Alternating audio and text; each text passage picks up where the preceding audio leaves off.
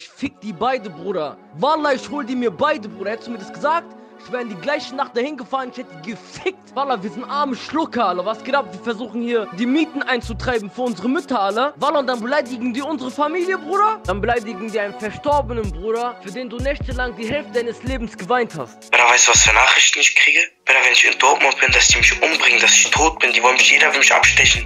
Bruder, weißt du, wie ich mich fühle? Ich gebe jetzt Yunus Amir und Ali Hakim 24 Stunden Zeit, sich zu der Sache zu äußern bzw. dazu zu stehen.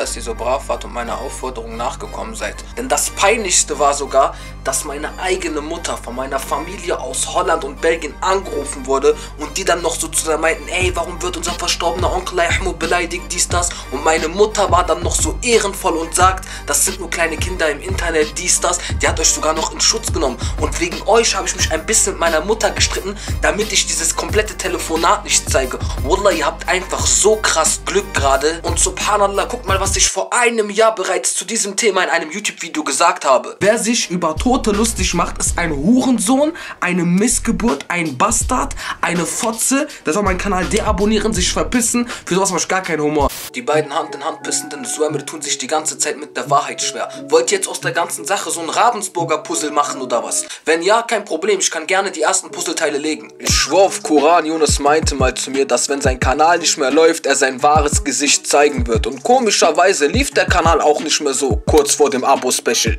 Wolltet ihr also bewusst mit mir Beef, ihr kleinen Fame-Bitches? Ich zeige euch jetzt mal, wie dieser süße Junge in Wirklichkeit so drauf ist. Und ach ja, Yunus, vielleicht solltest du demnächst mal mit mehr Gehirnmasse rumlaufen, anstatt mit so einem riesen Teddybär. Und ich wette sogar, dass der Teddybär mehr Stoff im Kopf hat als du. Okay, wir zeigen das Video, zeigen Serka Moment. Ey, Jungs, unser Jungs. Yalla, ey, ich hab auch was kaputt gemacht.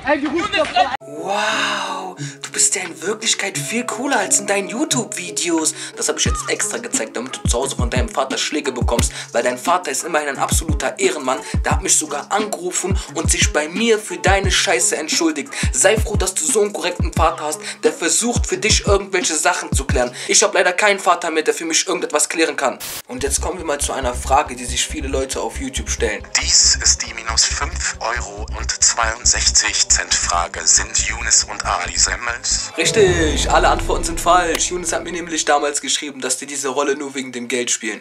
Jetzt kommen wir mal zu seinem Statement-Video, in dem der eine Sache zugibt, nämlich dass er Ali meine Nummer gegeben hat. Und dazu sagt er noch folgendes. Okay, wenn ihr vermutet, dass ich das bin, dann sagt Yunus, sagt Yunus, aber sagt doch nicht Amiri. Guck mal, sowas trifft doch auch meine Familie. Meine Familie kommt zu mir und sagt mir, Alter Yunus, Mann, was ist denn das, Alter? Warum sagen die Amiris? Motto, ich habe jetzt den Namen seiner Familie in den Dreck gezogen. Junge, was hat deine Familie damit zu tun, wenn du eine Nummer einfach so weitergibst? Deine Familie tut mir sogar leid. Und wenn hier jemand etwas in den Dreck gezogen hat, dann du den Namen meines Vaters. Junge, in diesem Telefonat ist nur eine einzige Stimme, ganze Zeit.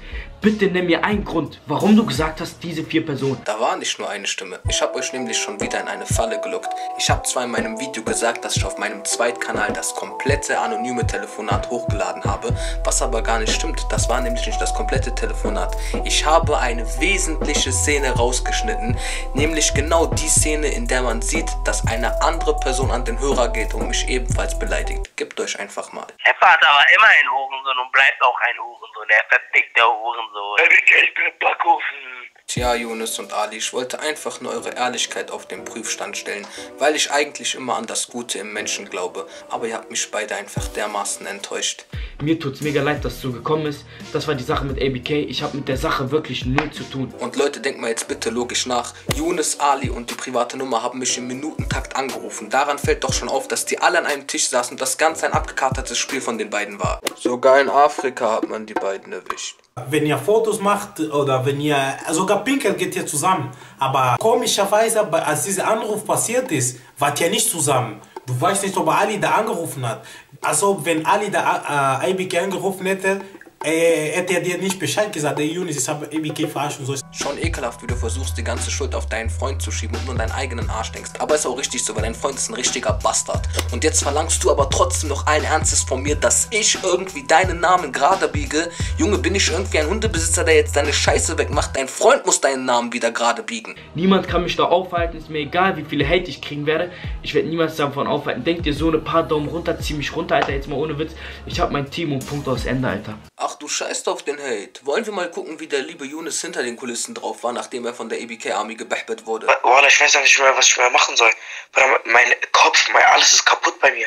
Bruder, einfach so von einem auf den anderen Tag ist so alles weg, so weißt du, was ich meine? Du Sondi, Alter, äh, alles ist weg, mein Leben. Junge, du bist kein 40-jähriger Mann, der gerade von seiner Frau verlassen wurde, die mit den Kindern abgehauen ist. Junge, du hast gerade nur ein paar Dislikes und D-Abos gemacht. Mal, Junge, dieses Video ist nicht dein Leben. Weißt du, was dein Leben ist? Du Spasti, dein Vater, der dich supportet, deine Geschwister, deine Mutter, die dir wahrscheinlich noch jeden Morgen dein Bett macht, dein voller Kühlschrank, die Tatsache, dass du gesund bist, dass du mit deinen eigenen Füßen zur Schule gehen kannst. Das ist dein Leben, du Spasti, und nicht dieses Internet. Du bleibst mein toten Vater und ich muss dich jetzt noch daran erinnern, was das wahre Leben ist. Merkel hat 20.000 Flüchtlinge reingelassen und schiebt nicht mal zu Filme wie du wegen ein paar Dislikes. Aber daran merkt man einfach, wie famegeil du bist. Dieser ganze Fame verändert den Menschen, genauso wie mir das Amix gesagt hat. Das ist der Typ, der mich damals auf YouTube gepusht hat. Guckt euch sein Video an, wie der darüber redet. Der ist selber abgeturnt von dieser Scheißwelt. Sei mal froh, dass ich dir gerade hier was beibringe, damit du nicht in Zukunft weiter Nummern weitergibst und irgendwelche toten Väter beleidigst. Weil der mir so leid tat, habe ich dem dann 10 Minuten Zeit gegeben, mir die Wahrheit zu sagen. Und guckt mal, wie der drauf war. Jetzt hier, sag einfach, willst du mir die Wahrheit sagen? Ja oder nein? Guck mal, ey, kann ich, kann ich dich genau in 5 Minuten wieder anrufen? Sag jetzt. Genau in 5 Minuten, Bruder, weil ich muss Nein. kurz einen freien Kopf kriegen. Sag jetzt. Das hat nichts mit freiem Kopf zu tun. Sagst mir das jetzt. Dann hast du eine freie Seele. Dann hast du, du hast die Wahrheit gesagt. Dann machst du nichts falsch im Leben. Leute, seid mal ganz ehrlich, wenn ihr wisst, dass ihr mit einer Sache gar nichts zu tun habt und euch gerade in einem Moment Unrecht getan wird, dann reagiert doch jeder Mensch ganz anders. Jeder von uns macht dann diese, äh, Schuf Koran, ich war das nicht, Wallah, dies, das. Das ist normal, wenn einem Unrecht getan wird, dann fängt man an, ein bisschen lauter zu werden, ein bisschen seine Meinung durchzusetzen für die Wahrheit. Aber anhand seines Verhaltens können wir doch sehen, dass der gerade irgendwie ein schlechtes Gewissen hat. Und wenn er ein schlechtes Gewissen hat, dann hat er mit dieser Sache auch etwas zu tun. Deswegen hat er mich auch einen Tag nach dem Telefonat gefragt, ob sich mein Verdacht bestätigt hat. Jetzt kommen wir mal zu Ali Hakims Statement-Video. Ey, ich fick mein Leben, Digga. Wenn ich diese Fresse sehe, ich könnte doch. Mann. Wie ihr schon mitbekommen habt, kriege ich pro Video 8000 Dislikes und ich wurde angerufen und bedroht, dass sie mich töten wollen. Ich habe da Verbot, ich habe Hamburg Verbot, Dortmund Verbot, Düsseldorf, keine Ahnung wie viel Verbot. Und ich kann dir 100% garantieren, ABK, dieses Video, was du gemacht hast, wirklich, ne, das hat meinen kompletten YouTube-Kanal zerstört. Ich habe wirklich tagtäglich geweint. Ich habe jetzt zwei Tage lang durchgeweint mit Yunus. Ja, Junge, das ist doch nicht meine Schuld, sondern ihr mit eurer ehrenlosen Aktion. Mein Beileid, dass dein Vater gestorben ist, denn ich wusste es auch erst seit zwei Monaten. Hör mal bitte auf mit deinem geheuchelten Beileid, weil ich sehe direkt, wie ernst du das meinst mit deiner Autoscooter-Musik da im Hintergrund, als wären wir gerade hier auf so einer Kirmes. Und außerdem, was laberst du davon wegen? Du wusstest das erst seit zwei Monaten. Du hast schon vor einem Jahr dich über den Tod meines Vaters lustig gemacht. Du wusstest das sogar vor allen anderen. Denn wäre mein toter Vater gestorben, ich, ganz ehrlich, ne, ich will jetzt nicht asozial rüberkommen, aber ich würde zu dir persönlich hinfahren und alles mit dir machen, was ich bis jetzt noch nie in meinem Leben gesehen habe.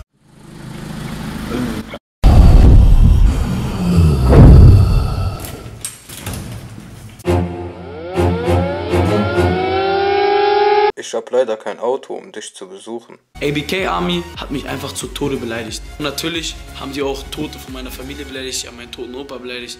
Und das hat mich wirklich heftig gekillt. Mein toter Opa war ein Ein und Alles für mich. Genau wie dein toter Vater. Das hat mich wirklich nochmal richtig heftig zerstört. Das hat nochmal einen richtig draufgelegt auf mein komplettes Herz. Denn mein Opa ist jetzt vor drei Jahren gestorben, Digga.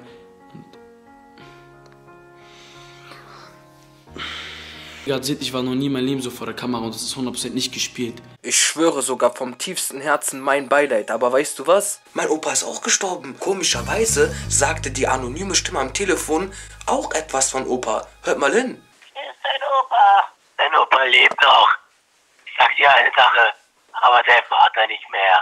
Walla, da willst du einmal Gefühle vorspielen und verrätst dich direkt, subhanallah. Es gibt auf YouTube noch so einen Ali, nur der Unterschied ist, dass dieser Ali diesen Ali gebahbert hat. Weil guckt mal, was der in seinem Video herausgefunden hat. Bis ich diesen Punkt gefunden habe, so den Punkt so, wo Wenn du für sie Geld verdienst oder für ihr. Wenn du für sie Geld verdienst oder für ihr. Bio, wer mir den Intro gemacht hat, Dankeschön an dir.